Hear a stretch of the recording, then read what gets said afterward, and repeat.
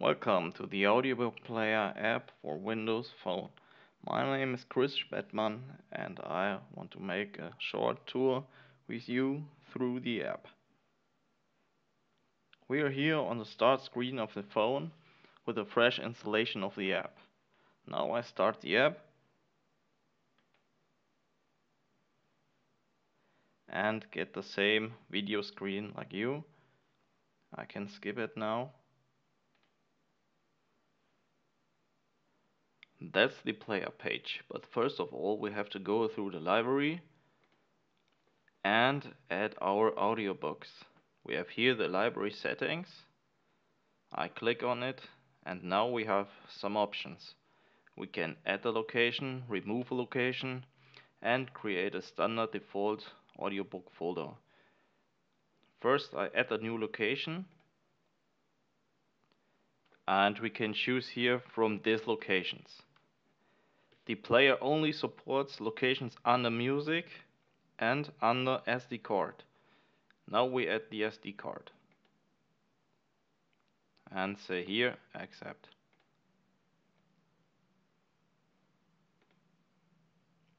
We can here we can see in the library we have three audio books. The three audio books are in the SD card.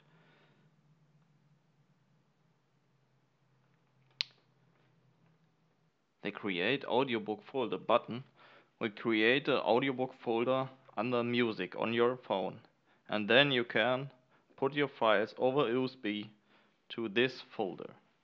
If I click here then you get a message what you can do and if I click close we see here it puts a reference. Now we collapse this and start a new audiobook. We just click on it in the list and here we can see the player and the audiobook starts. We can see in this line the title of the audiobook, the name. I pause this. In the second line you can see the author and then in the third line you can see the selected file, the chapter, which is playing. Under that you have a slider for the position of your audiobook. You can change it. Just tap on the position. And you can see the audiobook plays there. Or you can click here.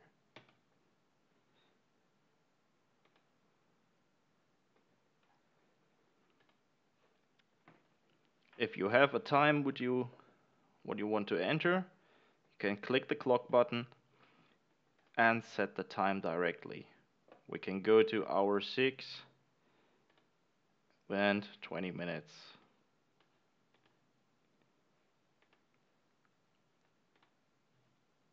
Zero. And then the audiobook starts on this time the second button is here, the alarm button, which starts the sleep timer. You can set here a time, for example 10 minutes, and you see here the sleep timer. After that 10 minutes, the phone stops, automatically be playing and save the last position. Now we disable the sleep timer and go to the next controls. It's here the app bar, in the bottom of the app. We open it and check the options. The first we saw, and the second is we can adjust the playback speed. We can make the playback slower or faster, or back on normal speed. On the next, here, we can go forward or rewind 30 seconds. Then we have the, this option, pin to start. We can pin this audiobook on our start screen from the phone and can start it from there. The next option, continue from start screen, where I click on it. Also creates a tile on the start screen. I take this here and put it here. And the difference between this option continue and the option before is that we can continue here every audiobook. The last audiobook we hear is that what starts. And we click on it.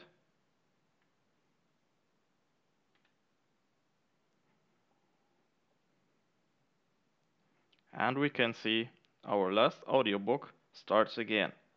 That's it, hot zone. We go to the app bar. This was our last option.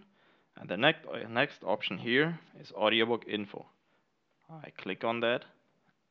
Here we can edit the name, the author, or the year of the audiobook. You can set the uh, audiobook informations here. That's new in this version. We cancel this here. And the next option is the share button. You can share your audiobook name and author with a short message to every app on your phone. For example, Twitter, Facebook, or mail. And then the last entries here are the review and rating. You can review this app on store or show the video screen again on video instructions and can visit the site for the Windows Store app.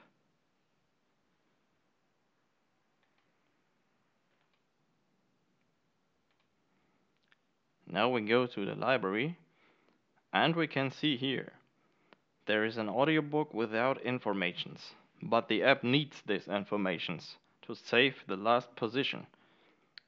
That's not that's no problem at this time now.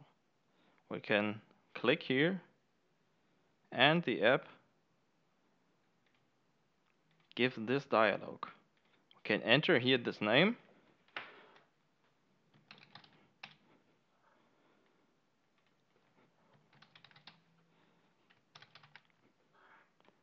And the name of the author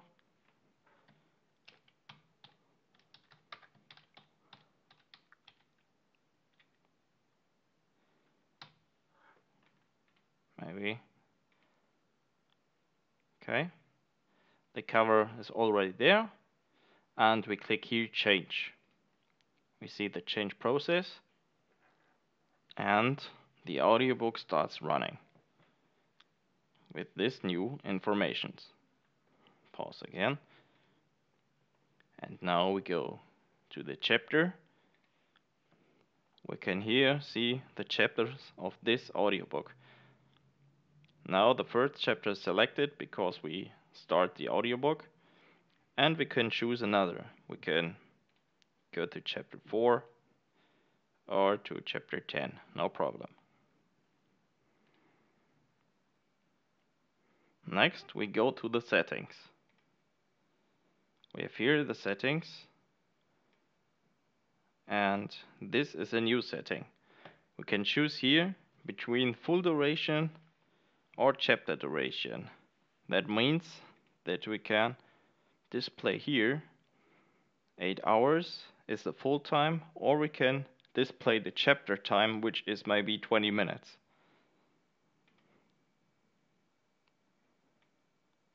The next option here is we can set wallpapers.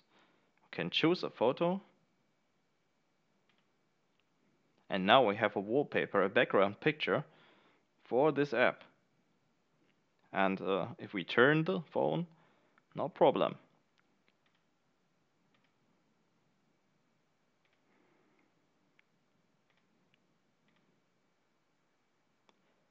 We can also change the theme here we can see the, the white fonts are not good for this wallpaper. Then we can change the theme, but it requires the app restart. I change it to light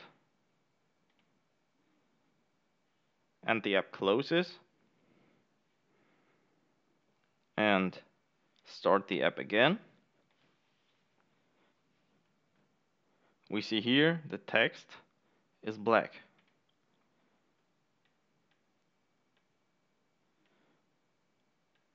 Another new option is here we can set the language of the app.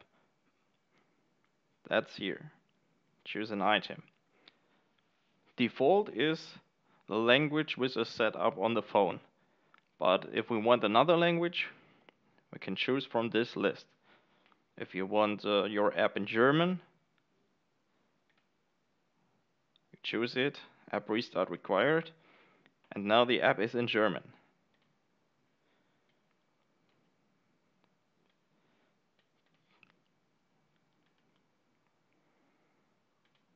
And now the app is again in English.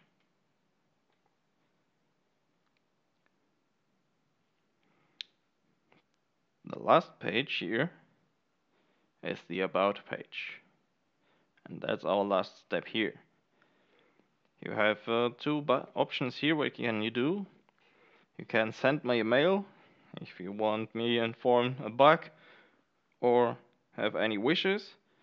Or you can visit the Twitter page to view the latest news. It's no Twitter logon required. Thank you for watching me and I hope you have very much fun with this app.